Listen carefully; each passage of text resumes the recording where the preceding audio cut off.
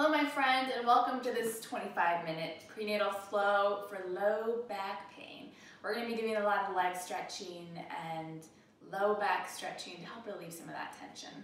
We're going to be using two yoga blocks through this whole practice, so make sure you have your blocks near your mat. And if you don't have any black blocks, you can grab some books or some boxes in the meantime, but I totally recommend getting these. They are amazing. But we're going to start this practice in a supported hero's pose, which is a great way to open up the front of our body and help lengthen our low back. So to get there, come onto your hands and knees. and then you're going to take your two blocks and stack them one on top of the other like this. Come up onto your shins and then slide these blocks right underneath your sits bones and come to sit up on them so that your shins are on the mat. Draw your knees in towards each other and your ankles are gonna open out to the side here.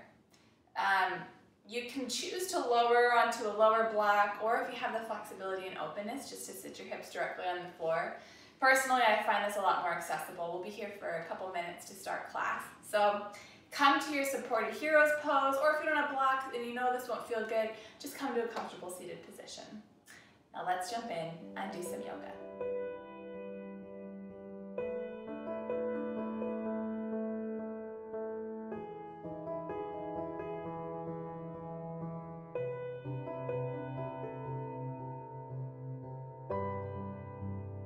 Finding yourself in this supported hero's pose, place both hands on your belly and close your eyes. Begin to deepen your breath. Rather than breathing just right up into your chest, can you breathe deep down into your belly? And by doing so, finding a fuller and more nourishing inhale and a longer, nourishing exhale.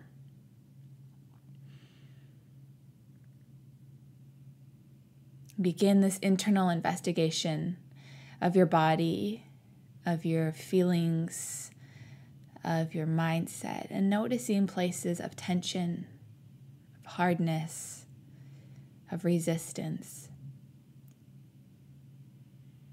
And just allowing your breath to take up space in those places. Our theme for today's practice comes from Psalm chapter 112, verse 7. And it says, They will have no fear of bad news. Their hearts are steadfast, trusting in the Lord. The Passion Translation translates the verse this way, saying, They will not live in fear or dread of what may come, for their hearts are firm, ever secure in their faith. You and I are the they referred to in this verse. And so, as you're breathing here, I just want you to speak this over yourself, saying, I will have no fear of bad news. My heart is steadfast, trusting in the Lord. I will not live in fear or dread of what may come. My heart is firm, secure in my faith. And this isn't an egotistical, I have a strong faith and that's why nothing will happen to me. No, this, this faith is rooted in the person and character of Jesus and the heart of the Father and the presence of the Spirit that dwells within us. And the more that we surrender and make space for this presence of God, the more firm and secure our hearts will be. So, God, we just open our hearts to you. We turn over every thought, every fear, every hope. And we ask that you just take up residence in each of them. As we practice today, will you reinforce our hearts? You are good, good Father, and we trust you. It's in Jesus' name we get to ask all of this. Amen right where you're sitting, open your eyes and begin to roll your shoulders really slowly up and back. Choosing to move not just because I'm telling you to move, but because it feels good to move. Honoring the choice that you've made to show up for you and your body and your baby and this pregnancy and whatever will come next. And at the next final roll down, allow your shoulders to just soften down your spine and extend your arms out to either side. Really reach through your fingertips here so you feel all the muscles in your arms start to engage, your wrists, your fingers, your shoulders. See if you can keep rolling those shoulder blades down and back so your neck finds a little bit more length. Good. And now roll your wrists forward and back so your palms face behind you.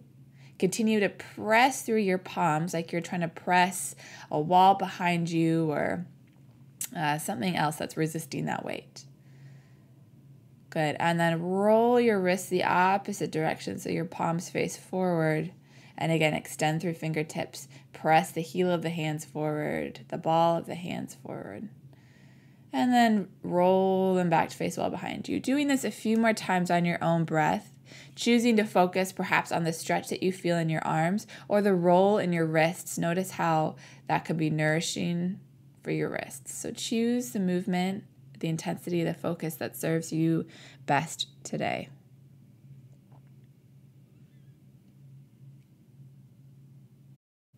Good. And now release your hands all the way down to the mat in front of you coming onto your hands and your knees. So sliding your blocks out from underneath you and bringing them to the front of your mat so that they're ready to go in just a moment. This tabletop position, and, and there's so many movements you can do from here that feel great now and can be great tools to take into labor with you. So, the first that we're going to do is simple cat cow movement. So, as you breathe in, draw your shoulders back and press your heart forward. There's no need to arch your low back here because there's already so much weight from baby pulling on your low back. So, keep that low belly drawn in, reach your tailbone to the back of the room, and see if you can just focus on the heart opening. Good. And then on your next exhale, draw your low belly in.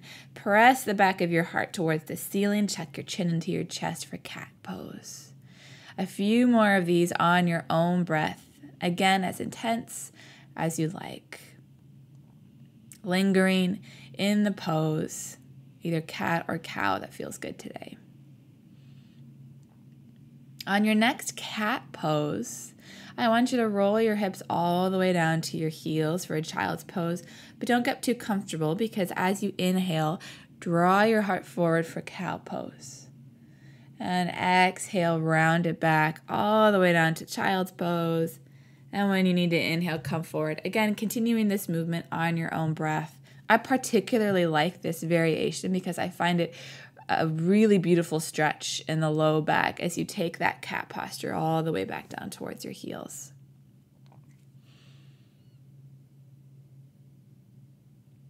Good. And then the next time you're up, back onto your hands and knees, stay there uh, but rather than arching your heart forward, press into your hands so your shoulder blades are supported. You're not dipping in between your shoulder blades. Low belly is drawn in slightly. And let's take really big body circles, really big wide ones here so that your whole upper body is moving. Taking this as slowly or as quickly as you like, but noticing where in this circle uh, feels really nice. And then take this circle the opposite direction.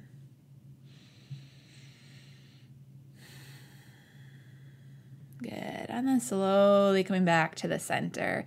This time, let's just circle our hips. Imagine you had a hula hoop around your waist. So your upper body stays pretty stable and you're just rocking and rolling through your pelvis here.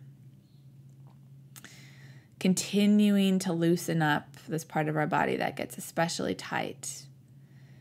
And if you've been going in just one direction, switch up the direction of your circle and take it the opposite way. That's it. All right, slowly bring your hips back to a place of stillness. Place your hands on the blocks now, and let's step our right foot forward. Tuck your left toes and lift that back knee, and then step your left foot forward. Situate the blocks just a few inches in front of your feet so that you can sway comfortably here in a forward fold. Taking care not to lock your knees but allow the back of your body to slowly open and allow your head to draw down towards the floor to help lengthen your spine and release your back. Place your hands back on the blocks now. Take a breath and lift halfway up. Back is flat here, which means you have to lift up through those shoulders. You have to lift up through that low belly. Good. And then on your next exhale, release and fold it down.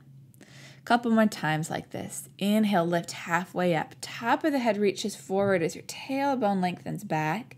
And then breathe out, release it down. One more time. Inhale, lift halfway.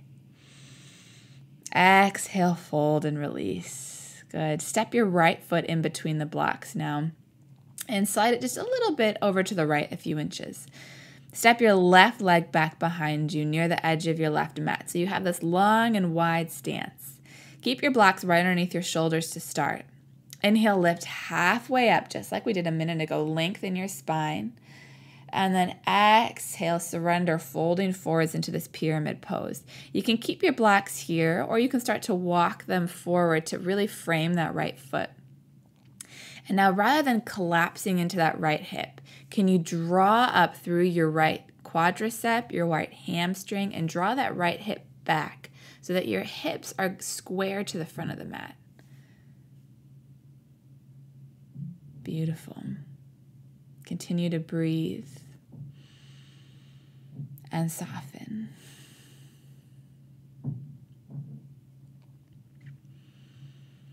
Take two more deep breaths right where you are.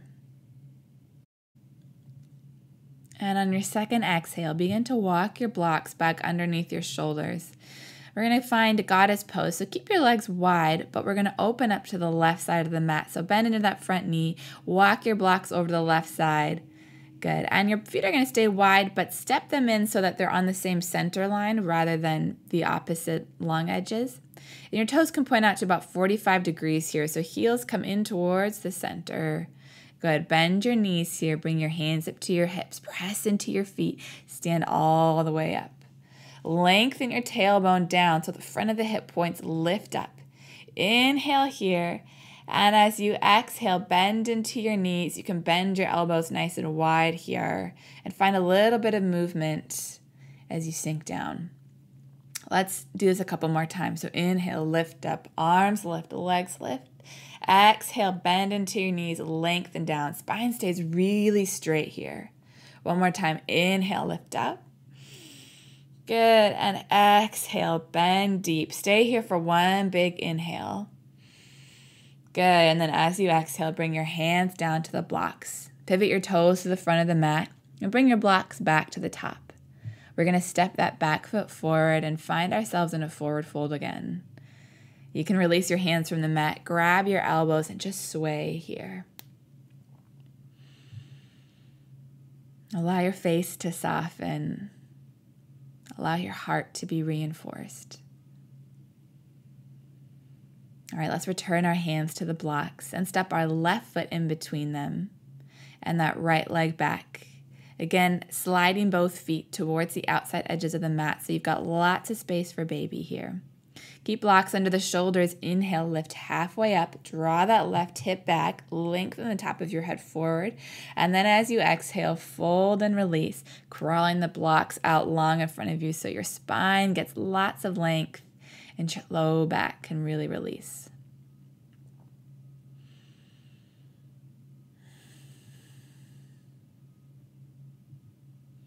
Fear and dread is not our portion. As children of a good, good Father, that's not our inheritance. Take one more big breath in and a long releasing breath out. And then walk your blocks back underneath your shoulders. Start to walk those blocks all the way over to the long right side of your mat. Heels come onto the same center line ish, toes pointing out. Slight bend in your knees, bring your hands to your hips and rise up. Good. Reach your arms overhead, straight legs, straight arms. Tailbone draws down, hip points point up. As you exhale, bend into your knees, bend into your elbows. Nice, deep, wide legged squat here. On your next inhale, lift it back up. As you exhale, bend and sway. One last time. Inhale, lift up. Exhale, sit deep. Stay here for a breath. Good. And then release your hands back down to the blocks.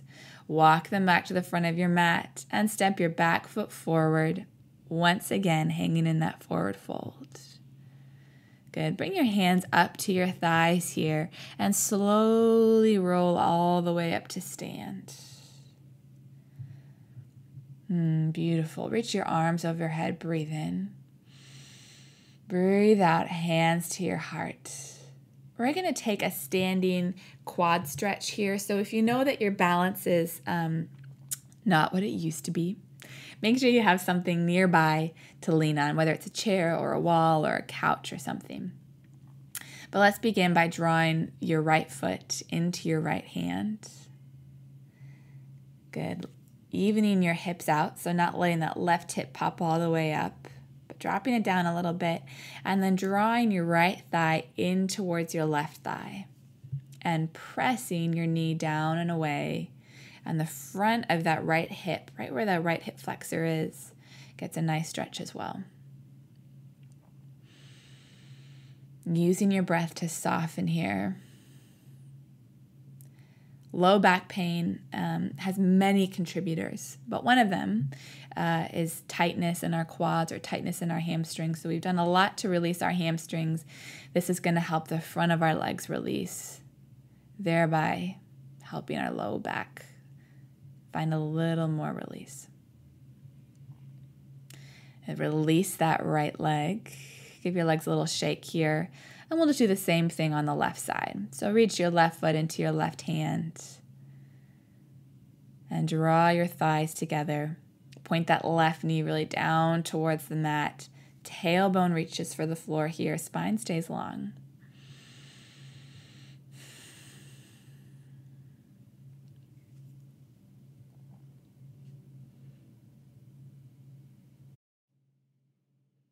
One more breath here.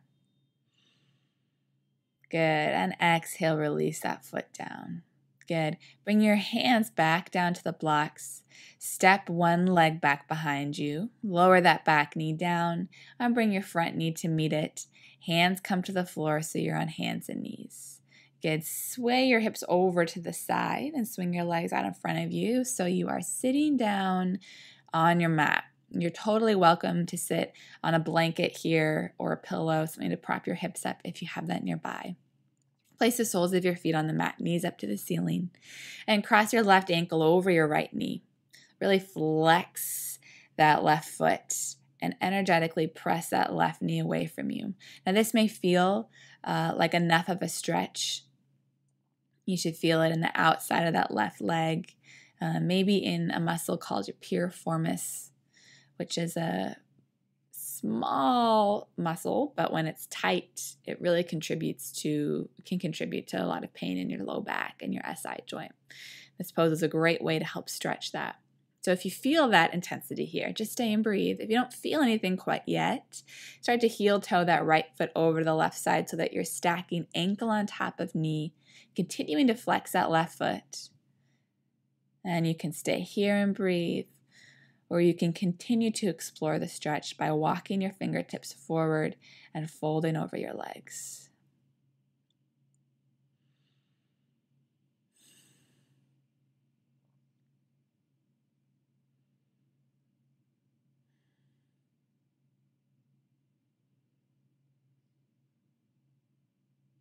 Take a couple more breaths wherever you are. If you're folded forward, slowly start to sit all the way up. And we'll release that left ankle from the top of our right thigh, placing both feet onto the mat, knees up, and place your fingertips behind you so that you can just sway your knees side to side here. Good. And then return them to the center, and we'll just take this on the other side. So, right ankle over left thigh, noticing the difference in this side compared to the other and taking it to your degree of intensity.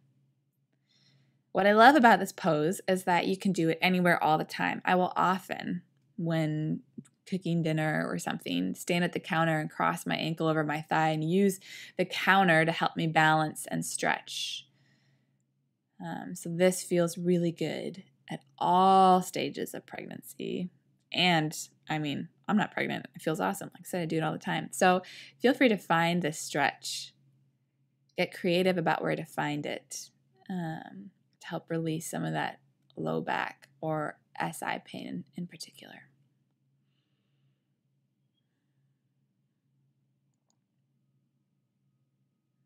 All right, one more big breath in. And one more big breath out. If you're folded forward, start to crawl your way up. And again, let's release that ankle from the top of our knee. Feet on the mat, knees sway side to side. Good. And then bring your knees back to face, reach up towards the ceiling, feet on the floor. Hands are going to come all the way down onto the floor behind you, fingertips point towards your toes. Press into your feet and start to lift your hips up. Good. If your hips come as high as your knees, you can release your head back. If it doesn't, keep your head facing forwards, looking at your knees, and just work on pressing into your feet, lifting your hips up, lifting across the front of your shoulder blades. Take one more inhale. As you exhale, slowly lower back down. Good.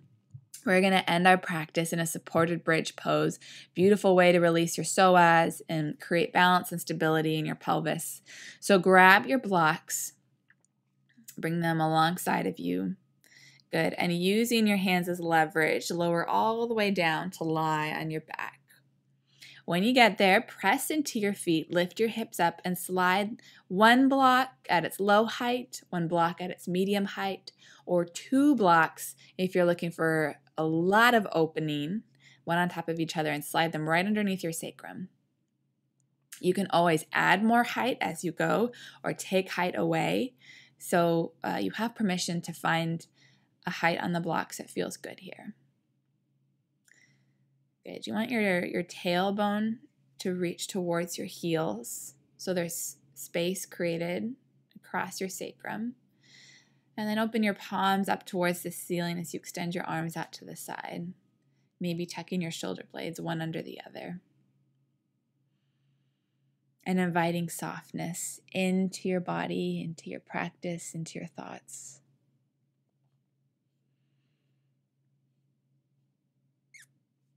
I will have no fear of bad news.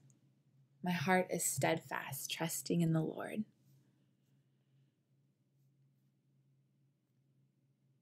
God, we thank you that you know each breath we take, not only ours, but our babies as well. So we just cast out any fear of bad news. We cast out the spirit of dread. And we stand firm in your promise, your promise of nearness, of comfort, of hope of provision. We trust you, God, and we thank you for this gift. We ask for the strength and the wisdom to steward it well. And we ask today for just a fresh insurgence of hope, of softness in places that used to be tight. We thank you, Jesus. Amen.